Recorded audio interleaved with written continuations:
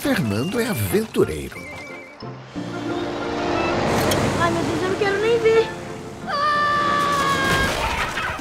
É uma estrepulia atrás da outra. A gente vai investigar a maldição da casa abandonada. E lá vem mais cachorro.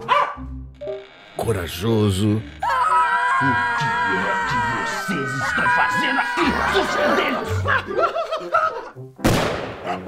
Está sempre aprontando.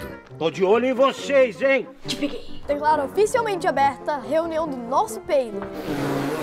Polícia Especial de Investigação Doméstica. Uma semana de castigo. Sem brincar no quintal, sem brincar na rua.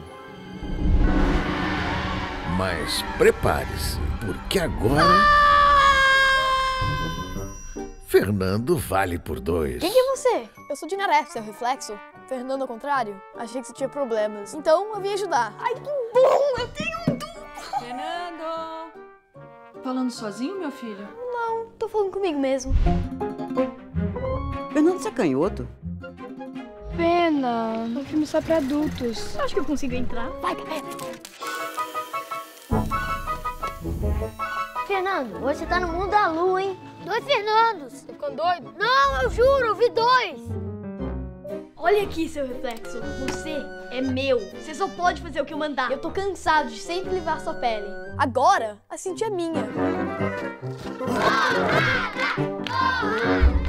Caraca, que nojo! Quando é que você vai parar de arrumar confusão, hein? Da obra de Fernando Sabino, O Menino no Espelho. Olha aqui, seu reflexo. Você vai devolver minha vida agora. Quem disse que essa vida é sua? Breve nos cinemas.